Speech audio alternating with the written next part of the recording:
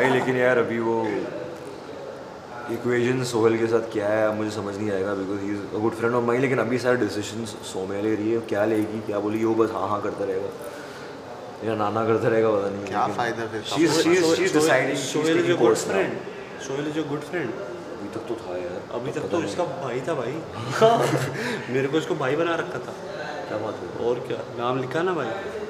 भाई फिर इसका कोई भरोसा नहीं है। कल ऐसे फ्लिप मारा उसने। और वो फ्लिपर फ्लिपर बोल के खुद फ्लिप मार दिया। और एंड में कितना कन्वीनियंट है ना कि यार इसका डिसीज़न था पार्टनर का। इज़ अभी हमने अभी तक लड़की लोग को मिला भी नहीं भाई दाम से।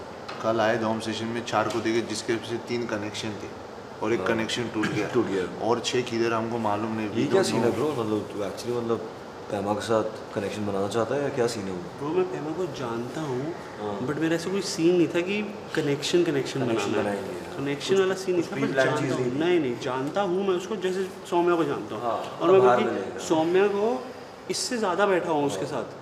ज़्यादा देर के लिए। और वो मेरा नाम लिख रही है मैंने कहा बेटे रुक जाते हो।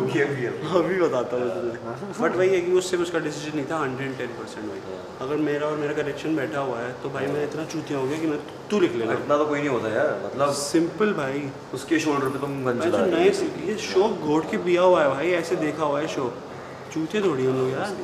या तो यू नो खड़ा हो मर्द की तरह कि हाँ भाई मैंने लिखा है। मैंने लिखा है किया है मैंने किया है। के बाद तो ये मैंने बोला है। मैंने नहीं किया यार वो इसका डिसीज़न था क्योंकि बोलो मैंने किया मैंने बोला झूठ मत बोलो फ्लिप मत करो जो बोलो जो करना है वो बोल के करो।